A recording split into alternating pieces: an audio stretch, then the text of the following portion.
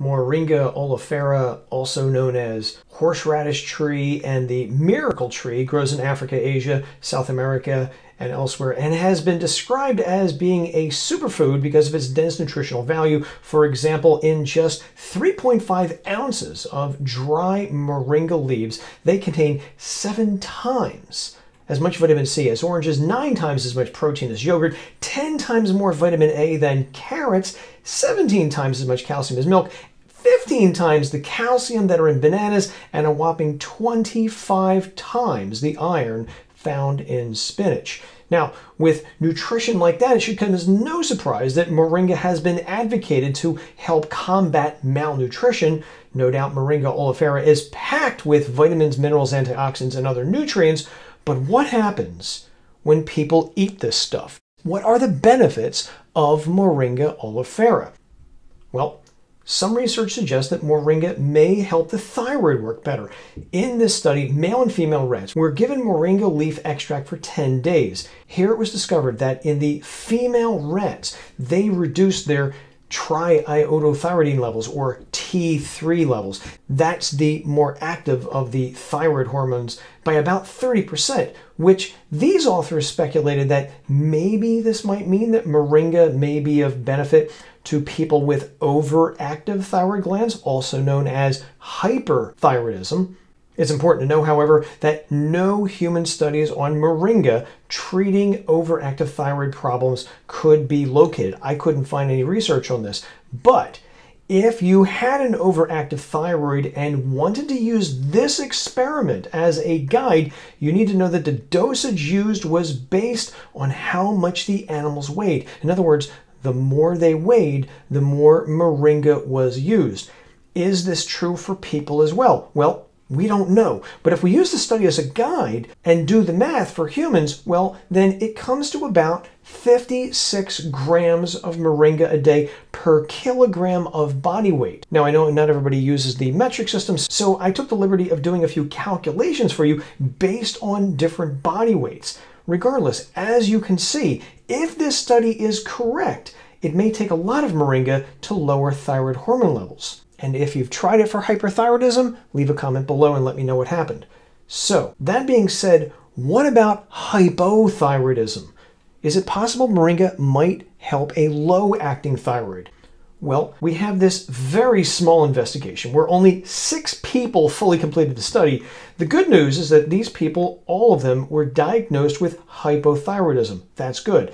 The people were given 10 grams, 10,000 milligrams of moringa leaf extract each day for 45 days. So what happened? Here was reported that moringa reduced thyroid stimulating hormone, TSH levels. Now, that's good for people with hypothyroidism and in addition to that, Moringa also raised both T3 and T4 levels. Those are your two major thyroid hormones. So it raised them up, made them go higher. So this is a very intriguing investigation, but it is just one study, and again, a very small number of people were in the investigation. So it needs to be replicated with more people to see if the results can be duplicated. What about weight loss? Well, in this eight week long investigation, researchers tested a supplement called LI85008F, I didn't make that up, which was composed of two additional ingredients in addition to moringa. So it just wasn't moringa, it was three different ingredients. And my hunch is that black pepper was used to increase the absorption of the other nutrients because black pepper is known to do that. That's why you probably see it in other dietary supplements you may be taking. Also, keep in mind that these people consumed only 2,000 calories a day and they also walked 30 minutes each day. Regardless of all that, what happened? So it was reported that the herbal concoction of these three ingredients promoted significant weight loss of about 10 pounds compared to those who took a placebo. As you can see, they started the study at about 86 kilograms. They dropped down to about 81 kilograms after the study was over, and that's a decrease of 4.76 kilograms, which is about 10 pounds. In addition to that, their body mass index was also reduced and the formula, in addition to that, increased levels of adiponectin by about 21%. Now, Adiponectin is a hormone that's made in our fat cells that appears to play a role in many different things, ranging from lowering appetite to even maybe helping improve diabetes. One question I have about this is that was the elevation in adiponectin caused by weight loss, because weight loss will do that, or was it caused by the herbal concoction by itself? Bottom line to this, we need more research to know what raised adiponectin levels.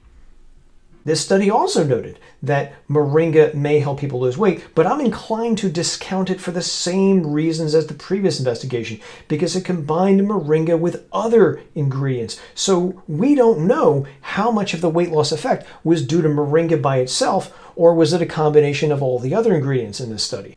How about lowering blood pressure? Well, there is some research that Moringa oleifera seems to lower blood pressure in rats, but what about people? Consumption of Moringa oleifera leaves lowers postprandial blood pressure.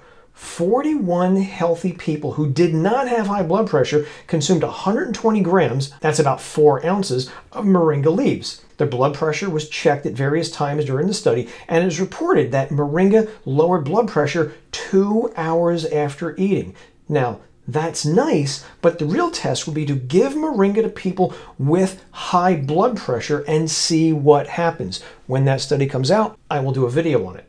What about diabetes? Effective Moringa oleifera leaf capsules on glycemic control in therapy in naive type 2 diabetic patients, a randomized placebo controlled study 32 people with type 2 diabetes were given 8 grams, 8,000 milligrams, of moringa or placebo each day for one month. Here it was reported that moringa did not work.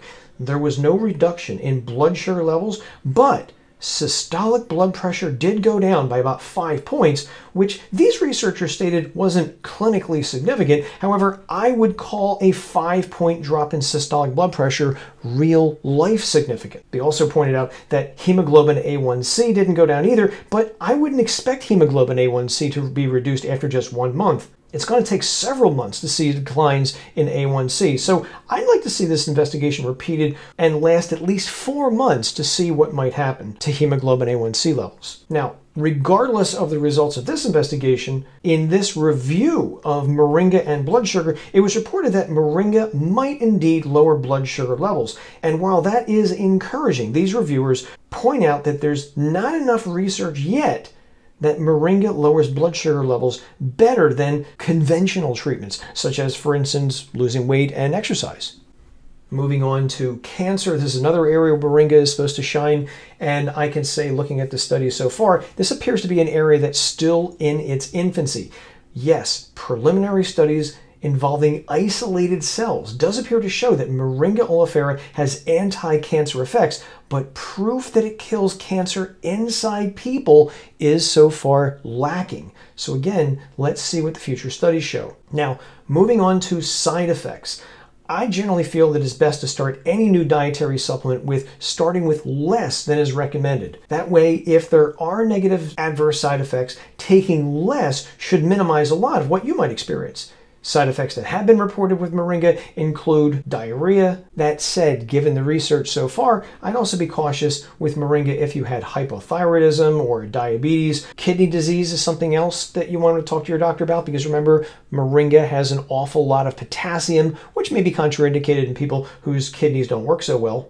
Another thing to be aware of is don't take moringa if you are pregnant. In theory, it might not be safe. And to be further safe, stop taking moringa at least two weeks before having surgery, just in case it has a blood thinner effect. Bottom line, if you take medications or have any health issues, talk to your doctor first. So, what do you think about moringa oleifera? Have you tried it? Leave a comment below and let me know what you think. Until next time, I'm Joe from supplementclarity.com. Take care.